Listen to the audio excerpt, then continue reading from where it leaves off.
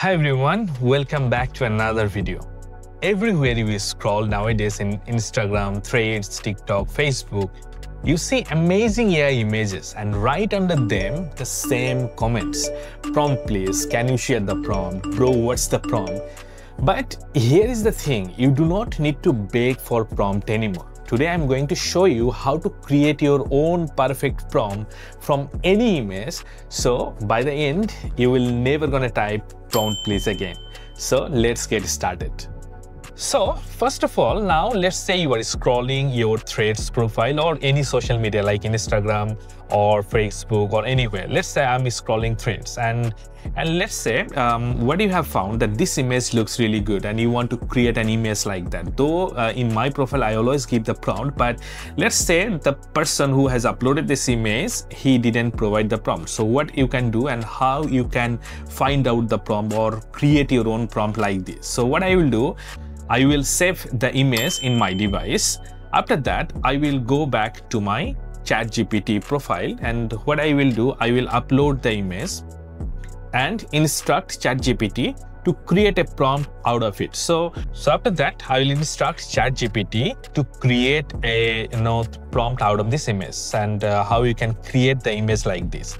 So what I will write, write me a detailed um, 100 so 100% complete.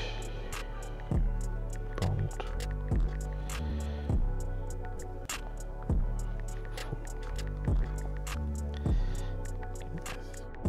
So you can copy or you can save this same instruction for any image. So what i will do now i will ask chatgpt to write down the prompt. So once i instruct this one chatgpt will start writing the prompt for me so look at that. This is ChatGPT is writing, writing the prompt for me. Already it has written the prompt. So what I will do now, I will copy the whole prompt and go to my Gemini profile, Gemini Nano Banana profile.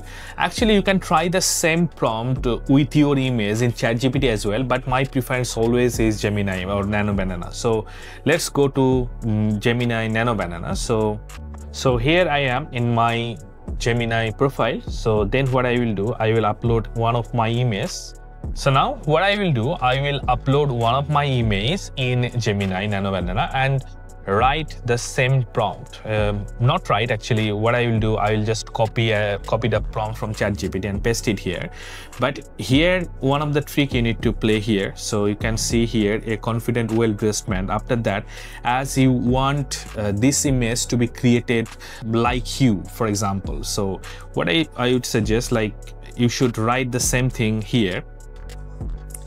100% exact face from reference. So what does it means that you have uploaded the image and you have written like 100% exact face from reference.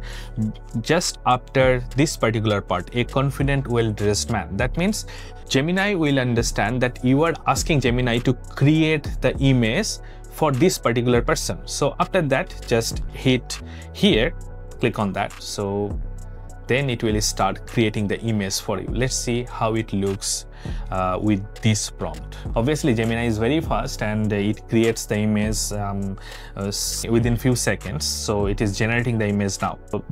Look at that. So already it has generated the image like the same way. So i didn't copy the prompt from threads i didn't copy um, i didn't ask for prompt from that person though that's me. But again i have created the similar sort of image without knowing the prompt so let's recap what I did. So I have found an image in social media. What I did, I actually went to ChatGPT and you know upload the same image which I have found in social media and ask ChatGPT with this text and instruct ChatGPT to write down the prompt.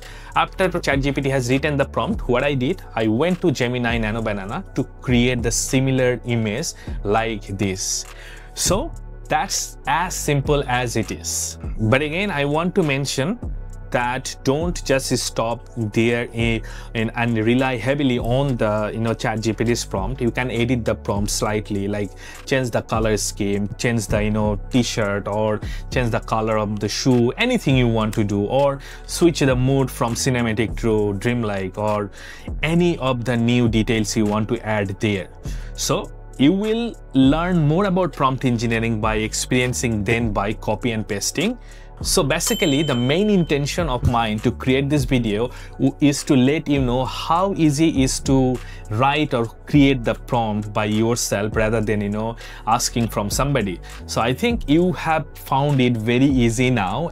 So stop waiting for somebody else or someone else to drop magic words in the comment take control make your own prompt and create whatever images you want to create so if you find this video helpful, don't forget to subscribe for more AI tips or entrepreneurship tips. I actually make videos on entrepreneurship and technology together. And now for this particular video, I again want to challenge you the next time you find an image, rather than asking for prompt in the comment section, create your own prompt and take control of your own learning and growth. So thank you so much for watching. See you in the next video.